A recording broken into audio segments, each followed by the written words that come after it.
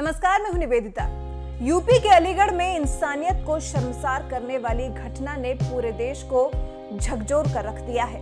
अलीगढ़ में ढाई साल की बच्ची की हत्या कर दी गई। पूरे देश में इस घटना को लेकर गुस्सा भरा हुआ है। वहीं बॉलीवुड स्टार्स ने भी इस घटना पर नाराज़गी जताई है और गुस्सा ज़ाहिर किया है। चलिए दिखाते हैं आपको ऐसे ही कुछ ट्वीट्स अभिषेक बच्चन। बहुत घृणादायी और गुस्से वाली घटना है।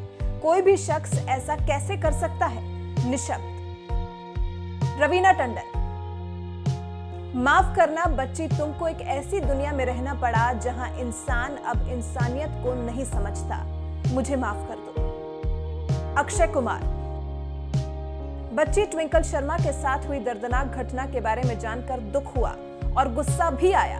ये वैसा संसार नहीं है जो हम अपने बच्चों के लिए चाहते हैं। ऐसे अपराधियों को कड़ी से कड़ी सजा मिलनी चाहिए। सोनम कपूर।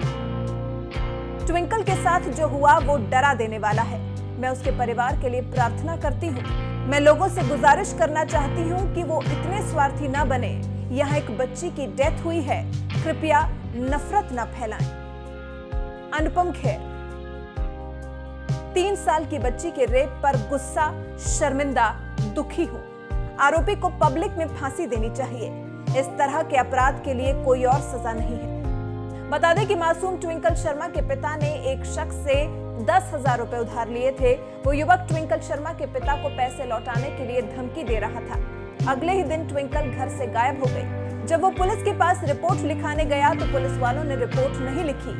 करीब 30 घंटे बाद पुलिस ने मामला दर्ज किया और फिर तीन दिन के बाद ट्विंकल शर्मा की लाश पुलिस ने बरामद की। पुलिस के मुताबिक जाँच अभी जारी है। दो आरोपियों को गिरफ़्तार भी किया गया है। साथ ही पुलिस का कहना है कि बच्ची से रेप नहीं हुआ है, ये आपसी रंजिश का मामला है।